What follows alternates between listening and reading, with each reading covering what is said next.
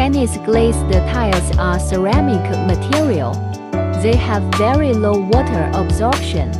Yellow glazed tiles can be for temple, palace and so on.